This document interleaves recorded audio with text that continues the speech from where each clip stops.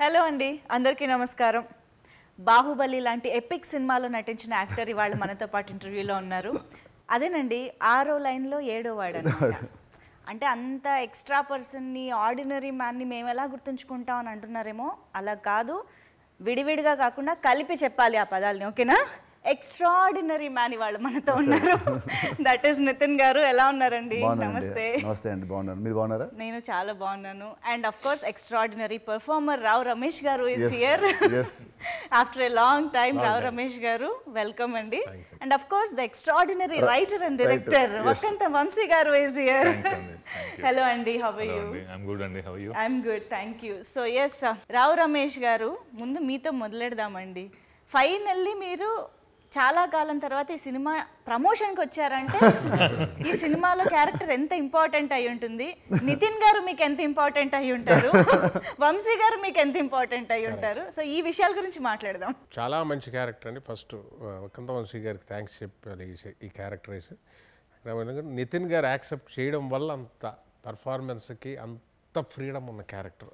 Hero కానీ accept చెప్తే కుదరదు. వక్కంతం గారి క్రియేషను నా ఫీల్ ఏంటంటే middle class father ceiling head room పెంచాడు. కొత్తగా ఆయన రాసిన క్యారెక్టర్ ఇది. ఇది చూసి చాలామంది డీకోడ్ చేయడం కష్టం. ఎలా రాసేడు తనకి ఈ థాట్ అన్నది వస్తుంది. నిజంగా చేసేటప్పుడు ఎవ్రీ షాట్ ఛాలెంజింగ్గా చేసాం. చాలా నచ్చుతుంది ప్రేక్షకులకి. అంటే మనకి నచ్చడం వేరు. మనకి నచ్చడం మటు ప్రేక్షకుడికి అది నచ్చి హై ఇచ్చే రష్ ఉన్న క్యారెక్టర్. అందుకే లాస్ట్లో కూడా ట్రేజర్ కటింగ్ ఎంత పేలిందో తెలుసు. అవును. చాలా ఒక ఒక మాట ఆయన బుక్ ఒక తెగించిన తండ్రి కథ అని చెప్పి బుక్. తండ్రి కదా కోతి కోతి బొమ్మ ఉంటుంది. వీడు చదివి చదివి కోతిలా వీడు ఒక రకమైన ఎక్సెంట్రిక్ ఫాదర్ ఓకే. చిన్న విషయాన్ని మనం సంతోషించేది ten times twenty times amplify చేసి సంతోషించడం. ఏదొచ్చినా ఆ టైపు. అది ఆయన డైరెక్టర్ గారు వక్కంతం గారు హ్యాండిల్ చేసిన విధానం నితిన్ గారు మా కాంబినేషన్స్ ఆయన యాక్సెప్ట్ చేసిన. చాలా ఇది చాలా ఎగ్జైటింగ్గా ఉంది. ఫస్ట్ టైం నాకు చాలా రోజుల తర్వాత ఈ క్యారెక్టర్ చాలా బాగా సో చెప్తున్నారు ఫాదర్ క్యారెక్టర్లో కూడా ఒక extra extra extra exact extra exactly extra extraordinary క్యారెక్టరే okay జనరల్గా ఉంటుంది కానీ చూస్తారు కొత్తగా ఉంటుంది. అవునవును. వెరీ హ్యాపీ ఈ క్యారెక్టర్ బక్కంతంగా చేయడం ఆయనతో అందులో మాకు ఆ తర్వాత ఈ కాంబినేషన్ చాలా బాగుంటుందని ఎగ్జైటెడ్గా ఉంది. టీజర్లో ఆ- ఆ లాస్ట్ ఆ కాస్త శాంపుల్ డైలాగ్ అసలు ఆ రేంజ్లో ఉందంటే వీ కెన్ ఎక్స్పెక్ట్ డెఫినెట్గా. అదే చెప్తా ఈ డైలాగు ఇది వద్దు వీళ్ళు రాయకూడదు లేకపోతే మాకు చెప్పకూడదు కాదు. ఆయన డైరెక్టర్ గారు చెప్పేది అది ఎవరు ఏం చెప్పినా? ఏంటంటే కొన్ని ఆయ- ఆయనకి ఆ ఇన్సెక్యూరిటీ ఏమీ లేదు. ఎస్ డూ ఇట్ దానివల్ల ఒక మంచి ఒక ఏమనాలి చాలా మంచి అందరూ ఎంజాయ్ చేసే ఒక ఫిల్మ్ ఆయనకి ఏ ఇన్హిబిషన్ ఇన్హిబిషన్స్ కానీ ఇవి చేయకూడదు అది కాదు. ఈ లెట్ లూస్. ఫ్రీగా ఉంటారు. సో దానివల్ల అది చాలామంది క్యారెక్టర్స్ ఒకటి కాదు ఇలాగ ఎన్నో పిక్చర్లు. చాలా అద్భుతంగా ఆయన రాశారు ఒక్కంతం గారు. Super super. అసలు ఆయన రాసి ఉన్నారు ఉన్నారు కాబట్టి అది ఎక్సెంట్రిక్గా రాస్తారు ఆయన. విచిత్రంగా ఉంటుంది. ఇప్పుడు ఇలా వస్తే ఇలా వస్తుంది సినిమా అంతా every scene will be very different very yeah అంటే నాకు తెలిసి Kick Race Gurram kind of కామెడీని. ఈ సినిమాలో ఆడియన్స్ ఎక్స్పెక్ట్ చేయడం మొదలు పెట్టేశారు hundred percent. Hundred percent hundred percent. ఇతని రైటింగ్లో as a story writer this most strongest script he's written right strongest hero characterization strongest characters and strongest comedy and strongest emotion Yeah. అని most best script in his career అని నా feeling wow wow ఏ, ఆయన character అలాగే పట్టుకున్నారు. చాలా కొత్తగా ఉంటుంది. నితిన్ గారి క్యారెక్టర్. అంటే ఫస్ట్ ఎక్స్ట్రా ఆర్డినరీ మ్యాన్ అనేది ట్యాగ్ లైన్ లాగా పెట్టారు. ఎక్స్ట్రా ఇస్ ద టైటిల్ అన్నట్టు పెట్టారు. అవును అవును అవును. మాకు ఫస్ట్ అర్థం కాలేదు ఏంటబ్బా ఏమై ఉంటుంది అని అనుకునేటప్పటికి ఇంకా టీజర్లో మీరు ఇచ్చిన ట్విస్ట్కి ఆ బాహుబలి సీన్కి అసలు అందరూ అది ఎంత వైరల్ అయిపోయిందంటే మేము చూసినా ఎక్కడ చూసినా అదే కనిపించింది. అవును. మీరు ఫస్ట్ స్క్రిప్ట్ చెప్పగానే అట్రాక్ట్ అయిన అంశం ఏంటి అసలు? ఫస్ట్ అదే ఫస్ట్ సినిమాలో play role of junior artist. అది వినగానే నాకు కొత్త ఫస్ట్ అసలు అంటే ఎవరు ఇంతవరకు చేయని పాత్ర నేపుడు చేయలేదు ఏ హీరో చేయలేదు. అసలు క్యారెక్టర్ అసలు అసలు రాయడమే చాలా ఫ్రెష్ ఇది. సో వినగానే ఇట్ వెరీ ఎక్సైటింగ్ వినగానే అసలు done be going with this అనుకున్నాను.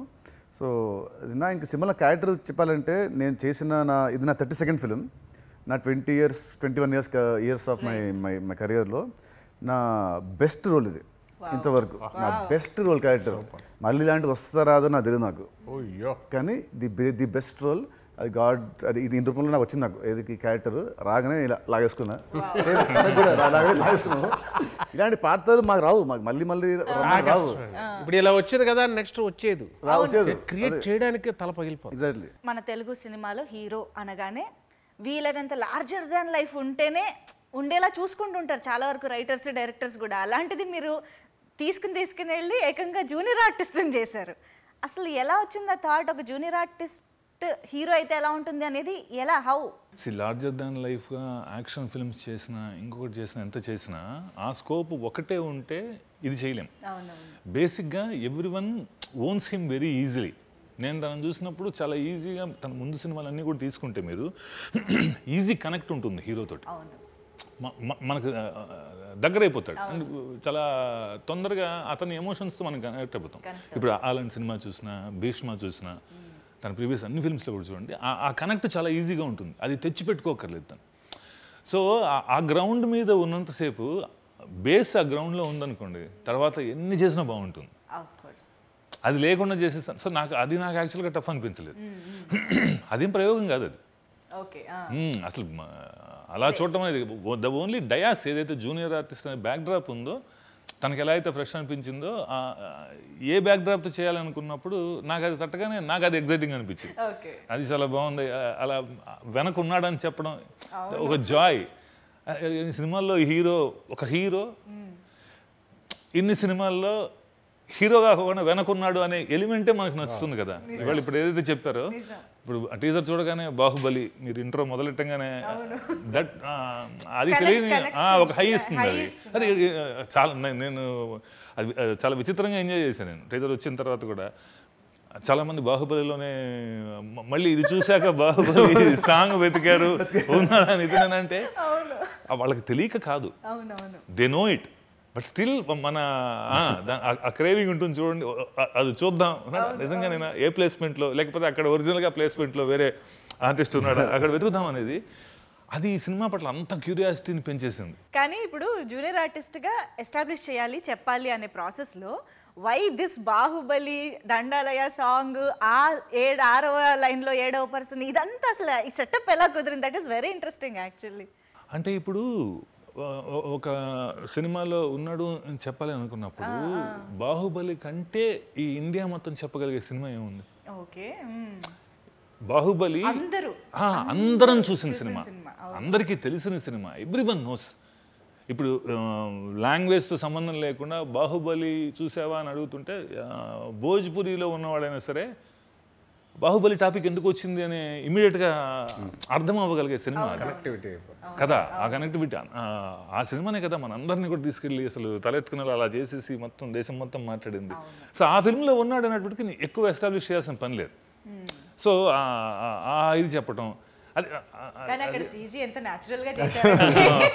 నిజంగానే చేశారండి, అక్కడ నితిన్ గారు చేసినట్టే ఉందన్నమాట. రీక్రియేట్ బాగా చేశారు. చాలా బాగా రిక్రియేట్ చేశారు. చాలా అది థింక్ చేసి చాలా బాగా. సినిమాలో ఇంకా చాలా సినిమాలు ఉంటాయి. ఇంకా ఇంకా సర్ప్రైజ్లు ఉన్నాయండి? మీరు ఆ షార్ట్ చూసినప్పుడు ఎలా అనిపించింది? నాకు చాలా చాలా కొత్తగా చాలా వింతగా కొత్తగా. అసలు నిజంగానే ఒక జూనియర్ ఆర్టిస్ట్ లాగా అక్కడ అక్కడ ప్రభాస్ ఉన్నట్టు ఉంచుకొని నేను ఇక్కడ యాక్టింగ్ చేయడం. And it very new. Wow. So మీరు అన్నట్టు ఇంకా చాలా చాలా ఉన్నాయి. ఉన్నాయి, బాహుబలి ఒకటే. చాలా ఐటమ్ ఓకే. ఇంకా ఏ ఏ సినిమాలో ఉన్నారు? ఎంతో జూనియర్ ఆర్టిస్ట్ అంటే ఒక సినిమా కాదు కదా. చాలా సినిమాలు ఉంటాయి కదా. Senior junior artist senior artist correct so చాలా ఉండుంటాయి కాబట్టి అవన్నీ సినిమాలో చూడాలి ఇంకా. Okay and also Rao Ramesh గారి క్యారెక్టరైజేషన్ సార్ చెప్పారు చాలా ఇంట్రెస్టింగ్గా స్పెషల్గా ఉంటుందని. సో మనందరికీ తెలుసు రావు రమేష్ గారు ఇన్ని ఇయర్స్లో ఎన్నో సార్లు ఫాదర్ రోల్స్ చేశారు. అఫ్ కోర్స్ మీరు రాసిన నా పేరు సూర్యలో కూడా ఆయన అవును. ఫాదర్ రోల్లే చేయడం జరిగింది. యా ఇన్ని డిఫరెంట్ రోల్స్ ఆల్రెడీ ప్లే చేసిన ఒక యాక్టర్కి ఒక ఇంట్రెస్టింగ్ ఫాదర్ రోల్ రాయడం అంటే ఇట్స్ వెరీ ఛాలెంజింగ్ థింగ్ కదా. సో ఆ క్యారెక్టరైజేషన్ ఎలా కుదిరింది? దాంట్లో రావు రమేష్ గారు ఎలా కుదిరారు? ఎలా ఇది కరెక్ట్ అండి. బేసిక్ ఏంటంటే ఫాదర్ క్యారెక్టర్ అనేదే మనం ఆల్మోస్ట్ లైక్ ఎవ్రీ టూ ఫిల్మ్స్లోనూ మనం ఓ- ఓ తండ్రి పాత్ర చూస్తాం. ఇప్పటికీ దిల్లో అది మర్చిపోలేము. చాలా చాలా సినిమాల్లో ఉంటుంది యాక్టర్గా రావు రమేష్ గారి గురించి మాట్లాడే ముందు ఈ పాత్రను రాసుకునేటప్పుడు వచ్చిన స్ట్రగుల్ ఇప్పుడు నేను కిక్లో ఫాదర్ క్యారెక్టర్ రాసుకున్నాను. అందులోనూ ఫాదర్ క్యారెక్టర్ సాయి షిండే గారు చేశారు. అది ఉంది. సంహవ్ నాకు ఆ, చాలా మంది చెప్తుంటారు ప్రతి సినిమాలోనూ ఏదో ఫాదర్ కాన్ఫ్లిక్ట్ లేకుండా రాయడేమో కథ అంటారు. ఐ డోంట్ నో అది మేబీ నాకు అది కంఫర్ట్ జోనా ఇంకొకట ఏంటో తెలియదు బట్ ఇది ఇది- డెఫినెట్గా వేరే. ఇది ఏ- చెప్పాలి? ఆ- middle class mentality father somehow అలాంటి సినిమాలు చూస్తున్నప్పుడు నేను లైక్ చేసినవా? నా ఆ మైండ్ సెట్ నాలోనూ మారలేదా? ఇంకొకటో. కొంచెం పర్స్పెక్టివ్ వేరేగా చూడడానికి ట్రై చేశాను. మిడిల్ క్లాస్ ఫాదర్ అనగానే బరువులు మోస్తూ బాధపడుతూ ఇంకోటన కాకుండా why can't he be dramatic కూడా కాదు అది. అది హీ ఈజ్ ఆల్సో న్యాచురల్ నా దృష్టిలో ఏంటంటే చాలామంది సొసైటీ కోసమో ఇంకొక దానికోసమో క్లోజ్డ్గా క్యారెక్టర్ బిహేవ్ చేయకుండా వాడు కూడా కొంచెం ఓపెన్గా ఉండడానికి ట్రై చేస్తే ఎప్పుడు మన సినిమాల్లో ఓపెన్గా హీరోనే ఎందుకు ఉండాలి? అది ఆ, ఉంటుంది కదా. ఇంకోటి ఇంకో ఇంకో ఈజీగా కొంచెం మాస్గా మనం చెప్పాలంటే. చెప్పండి. అన్ని లక్ష్ములు వెళ్ళిపోయినా పర్లేదు ధైర్య లక్ష్మి ఉండాలంట. అవును. అవును. అలాగే నేను నేను అనుకునేది. ప్రతి మనిషిలో సింహం వెళ్ళిపోయినా పర్లా పులి వెళ్ళిపోయినా కోతి కోతి వెళ్ళిపో ఆ కోతి ఇంకొంచెం ఉంది. కోతి ఉన్నంతసేపు మనిషిలో సరదా ఉంటుంది. చాలా బాగా చెప్పారు ఏజ్ పేరుతో ప్రతి ఒక్కళ్ళలో ఉంటుంది. ఒక రెస్పాన్సిబిలిటీస్ వయస్సు సోషల్ స్టేటస్ ఆ పొజిషన్ రాగానే we try to forget that monkey nurse వదిలేసి మనం గంభీరంగా ఉండే ఒక చిన్న ఆ సింహం లాగా ఇంకోలాగా ఉంటాను ట్రై అది వినే కొడుకున్నాడు అనుకోండి ఇంట్లో జరుగుతుంది అనుకోండి ఆ కోతికి. What if we retain that monkey in the character ఆడు అది కొంచెం తెగించిన తండ్రి అవుతాడు. తండ్రి ఈ టర్మ్ బాగుంది సార్. ఆ తెగించిన ఆయన రాశాడు బుక్లో బుక్లో. అసలు దానికి మేబీ నేను పర్టికులర్ సీక్వెన్స్ అని చెప్పలేనేమో కానీ ఒక సీక్వెన్స్ ఏదైతే అనుకున్నానో అది అనుకోగానే ఆయన తప్ప ఇంకెవ్వరికి మాకు ఆల్టర్నేటివ్ ఇంకొకటి అసలు ఊహించుకోలేదు ఇప్పుడు రేపు సినిమా చూసే కూడా చెప్తారు మీరు. అది గ్యారంటీ ద వే ఆయన ఈ క్యారెక్టర్ని పుల్ చేసిన తీరు కానీ ఇవ్వడం మాకు ఆ మెటీరియల్ ఇవ్వకపోతే అసలు అది అంత ఇచ్చారు ఆయన. స్పేస్ ఇచ్చి చేయమనేవారు రియాక్షన్స్ ఇంకా మనకి. సి ఇప్పుడు షూటింగ్కి వస్తామండి action to cut. But that fun part ఉంది కదా అది పోయి డ్యూటీ కింద కన్వర్ట్ అయిపోయింది అనుకోండి. మనకు మనకి ఎంత మంచి విషయాలు మనకి ఇస్తున్నా తెలియదు ఆ ఫన్ పార్ట్ ఉంచుకొనే ఇంకా మన సరదా అదే చెప్పారు ఆ సరదా ఉన్నంతసేపు డైరెక్టర్ ఏమి ఇస్తే ఆ మెటీరియల్ సరదాగా ఉంటుంది.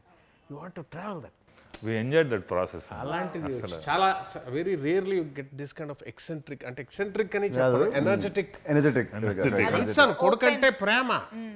కానీ వీడు వేరే చెప్పాను కదా ఆ చిన్న కోతి ఉంటుందండి. ఆ ప్రతి కోతి ఫాదరు కనెక్ట్ అయిపోయి అందరికీ లోపల ఇదే ఉంటుందండి. ఈయన బయటికి చెప్పాడు. వాళ్ళందరి తరఫున ఆయనకు బయటకు కొడుకుకి ఉద్యోగం కావాలంటాడు అది ఎవరన్నా అనుకుంటారు. వస్తే ఆనందంగా చెప్పుకుంటాడు పోతే తిట్టుకుంటాడు. అది ఆయన రాసిన విధానం ఇంకోళ్ళు ఊహలకి అబ్బాయి ఎలా రాశాడు ఇతను? అన్న డిస్టర్బ్ చేస్తుంది ఈ పాత్ర. ఓకే. డెఫినెట్గా డీకోడ్ చేయడం కష్టం. అందరూ రా- రాయలేము. టక్కన రాయలేము అది. అది లక్కీగా మనకు వచ్చింది. ఇంట్రెస్టింగ్ చాలా బాగా నచ్చుతుందండి. అదైతే నేను పోస్ట్ ప్రొడక్షన్లో ఇవన్నీ చూసుకుంటున్నా కదా. ఐ ఎంజాయ్ అసలు ఏమంటారు దాన్ని? ఎన్నిసార్లు చూసినా ఈ ట్రాక్ అదిరిపోతుంది ఏ కాదు ఇంకోటి డ్రైవ్ ఎన్ని ఉన్నాయో ఈ cinema main aim is to entertain audience hundred and twenty five percent అందరూ కడుపు నవ్వుకొని ticket double triple double triple అది ఇటుబాటు ఇది డైరింగ్ మాట ఇప్పుడు చెప్పడం గ్యారంటీ చూసే ఎందుకంటే అంత అంత పెట్టాడే ఇప్పుడు మేము మీ ఇద్దరి క్యారెక్టరైజేషన్స్ గురించి మాట్లాడుతున్నాం కాబట్టి నేనేం అడగబోతున్నానో మీకు తెలుసు కదా. ఏం అడగబోతున్నావు టీజర్లో లాస్ట్ డైలాగ్ చెప్పాలి. నువ్వు జూనియర్ ఆర్టిస్ట్. అంటే ఎక్స్ట్రా గడి నీలాంటి ఎక్స్ట్రా గడికి ఇంత ఎక్స్ట్రాలు అవసరమా? అలా సింగిల్ సింగిల్ కాకుండా మింగిల్ చేసి చూడు నాన్న ఎక్స్ట్రా ఆర్డినరీ ఎక్స్ట్రాడినరీ కొడుకు. చేస్తా చేస్తానా? నీ. ఏం రాశారనే. అక్కడ పని మనిషి ఏదో చేస్తుంది. చిన్న చెత్తబొట్టు పెట్టారు. కొడుకు అక్కడ. కొడుకు. అంటే పని మనిషి చిన్న నవ్వు నవ్వేసరికి ఈగో హర్ట్ అయింది. అవును ఇతను చెప్పిన డైలాగ్ ఆవిడ హ్యాపీ ఫీల్ అయ్యి ఈగో అటు చూసి కొడుకు. ఫాదర్ అండ్ సన్ మధ్య that fun angle that satirical dialogues కానీ ఇవన్నీ ఉంటాయి. ఫన్ అయితే హిల్లేరియస్గా వర్కౌట్ ఉంటుంది అర్థమవుతుంది. ఇమోషనల్గా కూడా ఉంటుందా? ఎమోషనల్ ఫన్గా ఉంటుంది. మేము ఎమోషనల్గానే ఉంటాం. చూసేవాడు చాలా బాగుంటుంది ఎంటర్టైనింగ్గా ఉంటుంది. ఉంటుంది ఆ టచ్ ఉంటుంది. అదే అవన్నీ కనిపెట్టి ప్రాసెస్ చేయడానికే ఎక్కడైనా సీరియస్నెస్ అవుతుంటే అది చెప్ప మీరు కంట్రోల్ చేసి అవును. యూ టర్న్ చేసి అది కనిపెట్టడానికి ఓ బాబోయ్ కాదు రమేష్ గారు ఇది కాదు ఇది కాదు వెళ్ళిపోతుంది ఎక్కడికి వెళ్ళిపోతుంది రండి రండి రండి రండి. ఇంకోటి నా క్యారెక్టర్లో బ్యూటీ ఏంటంటే ఈసారి అంటే చాలా సినిమాల్లో ఫాదర్ సన్ సినిమాలో ఫాదర్ మాట అంటే హీరో కూడా సర్కాస్టిక్గా తెలుసులే అనేది ఉంటుంది అలా ఉంటుంది. దీంట్లో ప్రతిదీ ఒక వినయం ఒక భయంతో ఉంటుంది హీరో ఫాదర్ అంటే. అందుకే రెచ్చిపోతున్నాడు. ఎక్కడ కూడా ఎందుకు అయిపోయింది? భయము. ఈ సినిమా మొత్తంలో ఎక్కడ కూడా మీకు తండ్రి మీద ఈయన పనిచేయడం ఆ పంచ్ వేయడం అసలు ఉండదండి. అసలు ఉండదు. He he will be truthful to his character. చాలా తన basic level of a characterization ఉందో అదే ఉంటాడు. చాలా నార్మల్ హ్యూమన్ బీయింగ్ తను. ఓవర్గా ఏదో ఫాదర్ నన్నేయాలి అది ఇచ్చిపెట్టుకుని ఆ సీక్వెన్స్ కోసం ఇలా ఏం ఉండదు. ఆ నార్మల్గా ఉండటమే తట్టుకోలేని తండ్రి. అదే జనరల్గా తండ్రి దగ్గర భయపడతాం. ఇప్పుడు ఈ ట్రెండ్లో కూడా భయపడడం కాదు. అది ఏమి అండ పాపం. ఆ, అంటే జరిగితే జ్వరం అంత సుఖం లేదంటాడు. వీడికి జరుగుదల బాగుంది. వైపు కానీ కొడుకు కానీ పని మనిషి కానీ లేకపోతే ఇంకో కోపం వచ్చినా కానీ పట్టుమని అనేస్తాడు. కొంతమందికి ఫిల్టరేషన్ ఉండదు. అవును అవును. వాడు ఆ కేటగిరీ. ఆడు కొంచెం అదే తెగించిన తండ్రి కదని ఈడే చదువుతుంటాడు కోతి బొమ్మతో సింబాలిక్ అదే. చెప్పేస్తుంది మనకి. అసలు ఆయన ఉద్యోగం వస్తే ఈ రెచ్చిపోయి ఆ చిన్న చిన్న బిట్స్ తీసేది. వాడు ఎక్సెంట్రిక్గా వాడు ఎక్స్ప్రెస్ చేస్తాడు. అది ఒక అంటే సీనే కొంచెం ఒక హైలో ఉంటుంది. హైపర్ చిన్న అది ఓవర్ బోర్డ్ అన్నం కానీ మరి తప్పదు. లేకపోతే రొటీన్ అవుతుంది కదండి. రైట్ రైట్ డైనింగ్ టేబుల్ దగ్గర వైట్ హెయిర్ వేసుకొని కళ్ళజోడు వేసుకొని ఏంట్రా? అని చెప్పేసి వెళ్ళిపోయి. ఒక మాట అనేస్తే మనం కంగు తిని వెళ్ళిపోవడం కాదు. మీరు ఇందాక అన్నదే ఇప్పుడు కిక్కు నాకు అదొక మేబీ అది నా అలవాటో బై డిఫాల్ట్ ఇంకొకటో కానీ ఇప్పుడు మీకు కిక్ సినిమా లాంటిది ఎంజాయ్ చేశాను అన్నారు. రేసుకోవడం లాంటిది ఎంజాయ్ చేశాను అన్నారు. ఆ- ఆ- అలా ఆ- టైమింగ్లో చూసుకోండి. ఇప్పుడు ఆయన చెప్పింది ఏదైనా కూడా. సో దానికి అసలు వాటిని మీరు ఎంజాయ్ చేస్తుంటే you will have a roller coaster ride in this and ఇంకొకటి ఇందాక ఆయన చెప్పిన విషయం ఏదైతే ఉందో ఇలాంటివి చేయాలనుకున్నప్పుడు మేజర్గా ఒక సినిమాకి హీరో సపోర్ట్ అనేది చాలా చాలా అవసరం నూటికి నూరు. అది కనుక లేకపోతే ఏ రైటరు ఏ డైరెక్టరు కూడా అన్ని చేయలేరు. రైట్ దీన్ని ఆ ఫ్రీ ఫ్లోలో అసలు అడుగడుగున ఉండి ఎంత ఎంకరేజ్ చేశాడో నాకు తెలుసు. ఆయన జూనియర్ ఆర్టిస్ట్గా చేయడానికి అదేనండి, అదే అంటున్నా. అన్నిటికీ నేను డైలాగ్ చెప్పేటప్పుడు అన్నా చెప్తాడు సార్ చెప్పచ్చా? నితిన్ గారు ఒప్పుకున్నా. ఒప్పుకున్నాకే మీకు చెప్పాను నేను అడిగాను మీరు చుట్టుపక్కల ఇదనే కాదండి. ఈయన టోటల్గా ఈ సినిమాలో మీరు ఎక్కడ తీసుకున్నా కూడా the way he encourage the other aspects in the film exactly. అన్ని పాత్రలు బాగుంటేనే సినిమా. అవును. I strongly believe in that అది ఎంత స్ట్రాంగ్గా బిలీవ్ నాకు తెలియదు ఎంత స్ట్రాంగ్గా బిలీవ్ చేస్తాడనేది నేను ఈ జర్నీలోనే తెలుసుకున్నా. మొదట్లో అన్న నేను ఒకటి రెండు బిఫోర్ గోయింగ్ టు ద షూటే నేను అడగడానికి ట్రై చేస్తే ఆ, తను ఇచ్చిన రియాక్షన్ బట్టి నాకు అనిపించింది అంటే ఇది నేను ఎందుకు అడుగుతున్నానని తనకు అనిపించి ఉంటుందేమో నాకు తెలియదు రెగ్యులర్ నేనే ఒక కొన్ని ఉండాలి కదా కొన్ని నేను మరీ వెళ్ళిపోతానని చెప్పాలి కదా అనుకున్నా. ఆ one or two times experience అయిపోగానే తను ఆలోచించింది నేను అనవసరంగా అడుగుతున్నాను. అక్కడి నుంచి నేను అడగను కూడా లేదు ఇంకా. వెళ్ళిపోతుంటే చేసేస్తున్నా అసలు నన్ను ఒక నాలుగైదు సార్లు అడిగి ఉంటారు రావు రమేష్ గారు. పర్లేదండి ఆయన ఒప్పుకున్నారా? లిబరల్గా ఆయన. అసలు ఒప్పుకోవడం ఏంటి సార్? మొత్తం అసలు దీని మీద డిస్కషన్ రియల్గా తండ్రికి కొడుకు వదిలేసినట్టు వదిలేశారు. ఒక- సీన్ ఉంటుంది మా ఇద్దరికి. ఒక ఒక ఫైవ్ మినిట్స్ ఇద్దరు అంటే హిల్ బిలాక్ హిల్ హిట్టింగ్ మీ ఫైవ్ మినిట్స్ సీన్ ఉంటుంది. Non stop comedy. Doubt hero ఒప్పుకున్నాడు సీన్కి ఎందుకు ఒప్పుకున్నాడు ఎలా ఒప్పుకున్నాడు? అంటే నా జుట్టు బట్టి ఇటు బట్టి అలా అలా ఉంటుంది. ఫన్ ఫుల్ ఫుల్ కామిక్ ఉంటుంది అనమాట చాలా బాగా డిజైన్ ఆయన గేమ్. నీకు ఇష్టం చేసుకోండి ఏంటది? మీ సినిమాల్లో ఇలాంటి ఫన్ కానీ ఇదంతా ఎంత హిలేరియస్గా ఉంటుందో ఏదో ఒక హై ఎమోషన్ ఒక ఒక మెసేజ్ వీలైతే టెంపర్ తీసుకున్నా కిక్ తీసుకున్నా of course Race Gurram is high emotion ఇందులో అఫ్ కోర్స్ ట్రైలర్ కోసం మేము వెయిట్ చేస్తూ ఉంటాము బట్ స్టిల్ ఈలోపు ఒక చిన్న క్యూరియాసిటీతో అడుగుతున్నాను. అపార్ట్ ఫ్రమ్ ఫన్ ఇందులో ఎక్స్ట్రా ఆర్డినరీగా మేము చూడబోతున్నాం? This film is completely target to entertain the ఆడియన్సే ఇది కంప్లీట్ ఇట్స్ అన్ ఎంటర్టైనర్ ఇందులో ఇప్పుడు నేను కిక్ రాసినా కానీ అందులో రీజ్ అన్ ఎమోషన్ కిక్ అనేది ఎంటర్టైనరే it's not an emotion film but there is but at the end of flashback కదా? అక్కడ ఒక చిన్న ఎమోషన్ ఉంది కదా? అలాంటి strong emotion it is there in the film ఉంటుంది. సో మొత్తానికి the busiest heroine of Telugu cinema శ్రీలీలాని తీసుకున్నారు.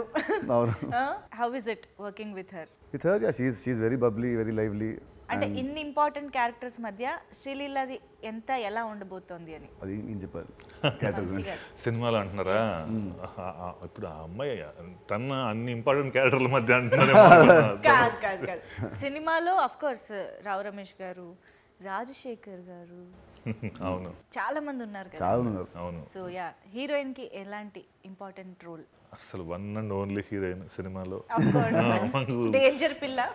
డేంజర్ పిల్ల. అసలు నిజంగా పేరుకి అది పాట కోసం పెట్టింది కానీ చాలా బంగారం అమ్మాయి. యా. అసలు తను ఏమంటారు దాన్ని? తను ఇంకా చాలా బిజీగా ఉండాలి. ఇదే పక్కన పెడితే ఈ సినిమాకి హండ్రెడ్ పర్సెంట్ తను బ్రహ్మాండంగా ఆపరేట్ చేసింది. అది కూడా చాలా బాగుంటుంది. She also will entertain you అండి. అవునా? ఆ, ఈ సినిమాలో ఎవ్వరూ మిమ్మల్ని ఎంటర్టైన్ చేయకుండా యా. రావు రమేష్ గారు మీకు మీ అబ్బాయితో కాకుండా ఇంకెవరి కాంబినేషన్లో ఉన్నాయి? ఇతనితోనే అంతేనా? కొంచెం ఆ కాలనీలో మిగతా వాళ్ళు. అది ఉంది కదా తన కాలనీ. కాలనీలో అదే మన ఉద్యోగం వచ్చినంత సంతోషం చిన్న ఎదురింటి వాళ్ళు. ఆ, మెయిన్గా వీళ్ళిద్దరు ఈ ఫ్యామిలీ ఇతనితోటే అంతే. అందుకే వినడం మాట. ఆయన జీవితమే ఇతని చుట్టూ ఉంటుంది. సెటిల్ అవ్వడం చెప్తే వినడం కదా అన్న ఒక యాటిట్యూడ్ ఉంటుంది. అవన్నీ చెప్పం మనం బయటికి. అవన్నీ రొటీన్ డైలాగులు ఆ, అదే మరి. అలాంటివి ఉండవు. అదే. ఏం చెప్తే వినవేంట్రా ఇవన్నీ క్లీషేడ్ ఇది. అవి ఉండవు.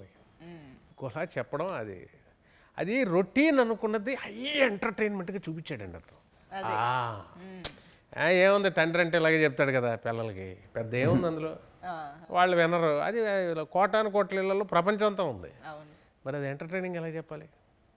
ఎంత పెద్ద ఛాలెంజ్ కానీ సార్ మీరు అసలు అంత ఈజీగా అలా క్యారెక్టర్స్లోకి అన్- వెళ్ళిపోయి ఏ క్యారెక్టర్ ఆ క్యారెక్టర్ కనిపించేలా? అంటే ఇప్పుడు ఆలో కంప్లీట్ నెగటివ్ షేడ్ ఉన్న క్యారెక్టర్ ఉంటుంది కొంచెం అలాగా ఎన్నో రోల్స్ చేసిన మీరు. మళ్ళీ గబుక్కుని ఫాదర్ అనగానే మా నిజంగానే మన ఇంట్లో ఫాదర్ ఏమో మన పక్కింట్లో ఫాదర్ ఏమో అని తిడుతూ ఉంటారు పొద్దున్న లేస్తే అన్న ఆ ఫీల్ని అంత ఈజీగా ఎలా తీసుకురాగలుగుతారు? అదే అదే ఐ ఎంజాయ్ దట్ ఫన్ అది డ్యూటీ లాగా అనిపించదు అని చెప్పి మీరు ఏది ఎంజాయ్ చేస్తారు ఎక్కువ చెప్పండి? అండి విలన్గా చేయడమా? ఫాదర్గా చేయడమా? నాకు అన్నీ ఇష్టం అండి. అది అన్నీ ఇవ్వరు కదా మనకి. అంటే మీ మీ పర్సనల్గా మోస్ట్ ఏది? పర్సనల్గా. విలనీ రోల్సా లేదంటే comedy villainy roles roles father comedy చేస్తే ఇది దీని మీదకి వెళ్ళిపోద్ది మైండ్ ఇది ఎక్కువ చేస్తే ఒకటి అన్ని చేస్తున్నాం కదా కామెడీ దానికి వెళ్ళిపోదాం. కాన్స్టెంట్గా ఒక దాని మీద ఉండదు. ఎప్పుడన్నా ఒకసారి సెంటిమెంట్ పడింది అనుకో అది లైక్ చేస్తాం.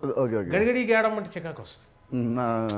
మీకు ఏంటంటే ఆర్టిస్ట్ అనేవాడికి అన్నీ చేయాలి. కానీ అన్నీ మనల్ని ఎలా అవతలవాడు చూస్తున్నాడు అన్నది పాయింట్ మనం అనేసుకుంటాం. కానీ అవతలవాడు మనం ఎలా చూస్తున్నాడు? వాళ్ళు ఇస్తారు మనకి. మనం చెప్పినట్టు అవ్వదు.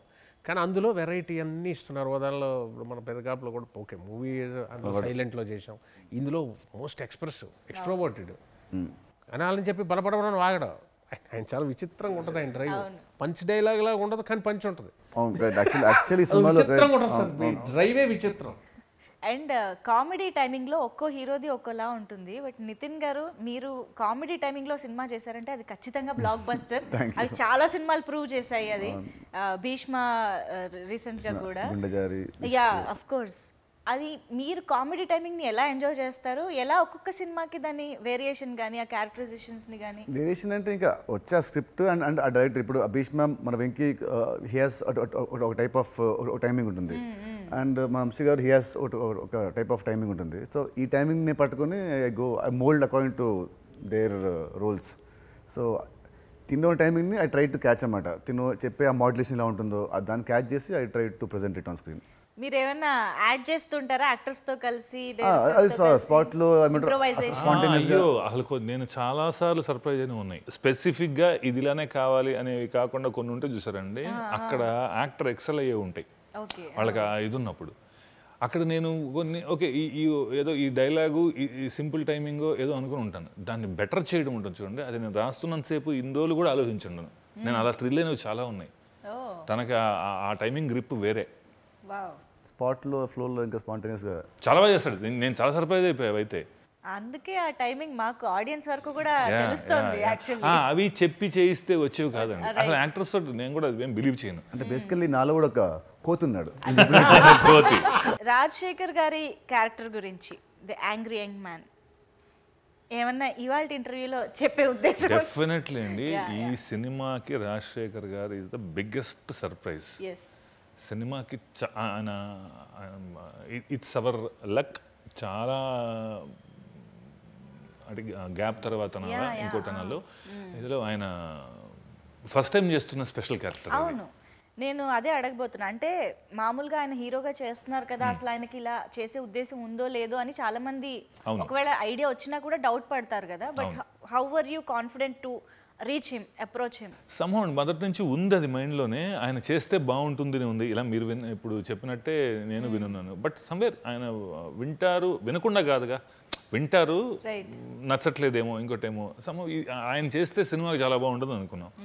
అనుకోగానే ప్రొడ్యూసర్ కానీ వెంటనే దాన్ని చా- మాకు చాలా టైం పట్టింది. ఆయన ఉన్నాడు అనుకుని ఒప్పించుకుంటాం అనే ధైర్యం ఇంకోటో ముందు అనుకుని స్టార్ట్ చేసేసాం. So when time came up వెళ్తే అక్కడికి చెప్పేశాను అరేంజ్ చేసి స్పెషల్ క్యారెక్టర్ అది ఇదిని. It's very fortunate that he loved it ఆయనకి సినిమా నచ్చింది క్యారెక్టర్ నచ్చింది. ఒప్పుకోవడం ఆశ్చర్యం. ఒప్పుకుండా అడిగేవాడిని. ఆయన చేయరు కదా. లేదు రమేష్ గారు ఈజ్ ఇంట్రెస్టెడ్ చూస్తున్నాం ట్రై చేస్తున్నాం అవుతుంది. ఆయన ఎన్నో వచ్చినా ఒప్పుకోలే. ఎందుకు ఒప్పుకున్నారు? నాకు అదే సర్ప్రైజ్. అంటే ఆయన ఆయనకు క్యారెక్టర్ దట్ క్యారెక్టరైజేషన్ నచ్చిందన్నమాట. చాలా ఎంజాయ్ చేశారు. అండ్ వి ఎంజాయ్డ్ ఎలా ఆయన క్యారెక్టరైజేషన్లో కూడా ఫన్ ఉంటుంది. ఫన్ అసలు ఆయన మీరు ఎక్స్పెక్ట్ చేయనంత ఎంటర్టైన్ చేస్తారు అవునా? యాక్చువల్లీ ఆయన స్క్రీన్ పైన యాంగ్రీ మ్యాన్ అని అంటాం కానీ he's known for his smile and fun కదా? నవ్వు చాలా బాగుంటుంది అవును. నేను ఆయనకి అది చెప్పాను కూడా. సార్ మీ నవ్వు చాలా బాగుంటుంది. మా సినిమాలో అది కనపడాలండి. Yeah. So fun side of Rajasekhar garu చూడబోతున్నాం అన్నమాట. ఓకే ఓకే నితిన్ గారు మీరేం చెప్తారు రాజశేఖర్ గారితో? ఆయనతో ఫస్ట్ టైం వర్కింగ్ చేస్తున్నాం కాబట్టి definitely it was like I had like great experience working with him and such senior actor కాబట్టి I learn lot from him and ఈ సినిమా ఆయన చేయడం మాకు చాలా మంచి ప్లస్ మాకు మా అందరికీ. సో డెఫినెట్లీ ఈ సినిమా డిసెంబర్ ఎయిత్న సినిమా రిలీజ్ అయ్యి డెఫినెట్లీ మీ అందరినీ it entertain you all to the core. And మీ అందరూ హాయిగా టూ అండ్ హాఫ్ అవర్స్ కడుపుబ్బ నవ్వుకొని వస్తారు బయటికి. సో ఆల్రెడీ సినిమాకి ఇంకా అంత ప్రమోషన్ స్టార్ట్ చేయక ముందే just the content of the film. పాటలు టీజరు టీజర్లోని డైలాగులు. సరిపోయింది మాకు మీ మెటీరియల్ కానీ వైరల్ అవ్వడానికి కానీ బోల్డ్ వచ్చేసింది కంటెంట్ అందరం ఎంజాయ్ చేస్తున్నాం మెటీరియల్ ఉందా మీకు? బోల్డ్ సార్ అసలు బాహుబలి ఒకటి చాలు. అండ్ మీ ఇద్దరి డైలాగ్ చాలు యాక్చువల్లీ బోల్డ్ స్ప్రెడ్ అయింది. Thank you so much Rao Ramesh గారు. Special thanks to you and of course Nitin గారు we are waiting to enjoy your comedy timing. And ఇంకా వంశీ గారి ఫన్ సైడ్ ఆఫ్ స్క్రిప్ట్ అంటే మా అందరికి ఇంకా ఇష్టం కాబట్టి will be waiting for the film Thank you so much అండి. థ్యాంక్ యూ సో మచ్ ముగ్గురికి కూడా thank for you this thank you time thank thank you you so much thank you అండి thank you waiting for December. Bye.